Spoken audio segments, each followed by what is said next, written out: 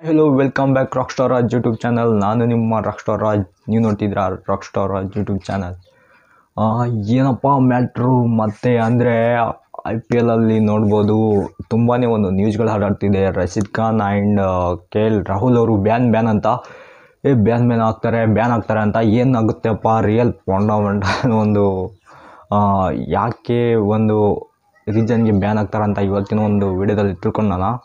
ಏನಂದರೆ ನೋಡ್ಬೋದು ಒಂದು ಮನೆಯಿಂದ ಹರಡ್ತಿದೆ ಏನಂದರೆ ಲಕ್ನೋ ಲಕ್ನೋ ಫ್ರಾನ್ಸಿಸ್ ಇದೆ ಅಲ್ವಾ?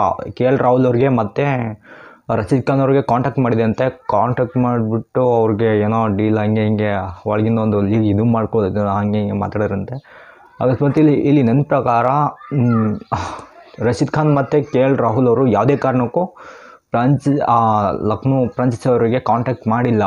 ಮಾಡಿದರೂ ಕೂಡ ಲಕ್ನೋ ಅವರೇ, ಅವರು ಕೆ ಎಲ್ ರಾಹುಲ್ ಅವ್ರಿಗೆ ಆ್ಯಂಡ್ ರಶೀದ್ ಖಾನ್ ಅವ್ರಿಗೆ ಕಾಂಟ್ಯಾಕ್ಟ್ ಮಾಡಿರ್ಬೋದು ಅನಿಸುತ್ತೆ. ಯಾಕಂದರೆ ಇವಾಗ ಆ್ಯಕ್ಚುಲಿ ನೋಡ್ಬೋದು, ಅವ್ರಿಗೆ ಕೂಡ ಇರುತ್ತೆ ಎರಡು ಸಾವಿರದ ಹತ್ತರಲ್ಲಿ ನೋಡ್ಬೋದು ಜಡೇಜಾ ಅವರು ಇದು ಮಾಡೋದಕ್ಕೆ ಹೆಂಗೆ ಬ್ಯಾನ್ ಆಗಿದ್ರು ಅಂತ.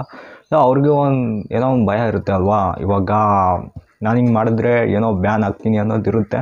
ನನ್ನ ಪ್ರಕಾರ ಹೇಳೋದಾದರೆ ಕೆ ಎಲ್ ರಾಹುಲ್ ಮತ್ತು ರಶೀದ್ ಖಾನ್ ಅವ್ರಿಗೆ ಇದು ಮಾಡಿಲ್ಲ.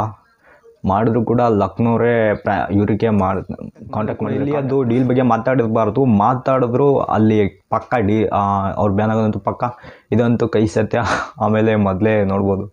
ಬಟ್ ಇವಾಗ ಆಕ್ಷನ್ ತೊಗೊಳೋದಾದ್ರೆ ಯಾರ ಕಡೆ ಒಂದು ತಪ್ಪಿರುತ್ತೆ ಅವ್ರು ತೊಗೋಬೇಕಾಗ್ತದೆ ಲಕ್ನೋ ಫ್ರಾನ್ಸಿಸ್ ಮೇಲೆ ತೊಗೋತಾರ ಅನಿಸುತ್ತೆ.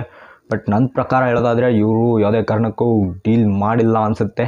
ಮಾಡಿದ್ರು ಕೂಡ ಅವರೇ ಮಾಡಿದ್ದಾರೆ. ಇವಾಗ ಏನು ಮುಂದೆ ಆ್ಯಕ್ಷನ್ ಬರುತ್ತೆ ನೋಡೋಣ. ಆ್ಯಂಡ್ ಮೊದಲೇ ಕಿಂಗ್ಸ್ ಲೆವೆಲ್ ಪಂಜಾಬ್ ಅವರು ಇವರು ಆಪ್ಷನ್ ಬಂದಿದ್ರೆ ಕೆ ಎಲ್ ಮೇಲೆ ಫುಲ್ ಹುರ್ಕೊಂಡ್ಬಿಟ್ಟಿದ್ದಾರೆ. ಆ್ಯಂಡ್ ಸನ್ರೈಸರ್ಸ್ ಹೈದರಾಬಾದ್ ಕೂಡ ಹಾಗೆ ಒಂದು ರಸೀದ್ ಖಾನ್ ಮೇಲೆ ಫುಲ್ ಹುರ್ಕೊಂಡ್ಬಿಟ್ಟಿದ್ದಾರೆ. ಮತ್ತು ನೋಡೋಣ ಮುಂದೆ ಏನೇನಾಗುತ್ತೆ ಅಂತ ಮುಂದೆ ಒಂದು ವಿಡಿಯೋದಲ್ಲಿ ನೋಡೋಣ. ಮತ್ತೆ ಸಿಗೋಣ. ಆ್ಯಂಡ್ ಈ ವಿಡಿಯೋ ಇಷ್ಟ ಆದರೆ ಪ್ಲೀಸ್ ಲೈಕ್ ಮಾಡಿ ಶೇರ್ ಮಾಡಿ. ಅಂತ ಹೇಳ್ತಾ, ಮತ್ತೆ ಸಿಗೋಣ ಮುಂದಿರೋ ಓಕೆ ಬೈಕ್ ಗಾಯ್